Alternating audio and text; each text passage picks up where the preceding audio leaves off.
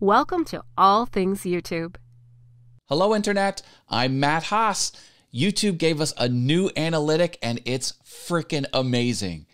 It can show you how many subscribers you had over time. It's a historical look back. So, what was the date you got your first 100 subscribers? Boom, it'll tell you 500, 1,000, doesn't matter before they gave us this feature, in order to get this information, I would have to look back over social media and see those little celebratory posts that I would do saying, Hey, I got my first 100 subscribers. Thank you. And digging through, trying to find them, very hard to do. Now it's super simple. I'll show you how.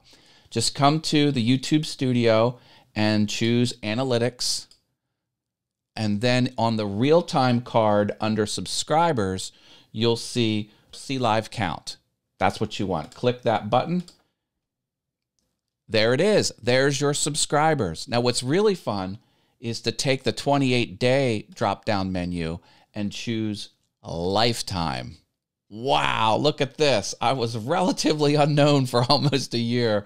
And then in 2016, I have a little over 500, almost 3,000, 3,500, and up and up and up it goes.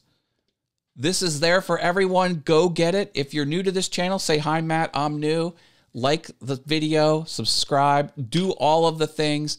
Check out my course. I have a course that tells you how to be awesome on YouTube and make searchable videos people actually watch. Because once you do that, everything becomes easier. It's all there in the course, it's all there in this channel. Stay awesome. Thanks, Internet.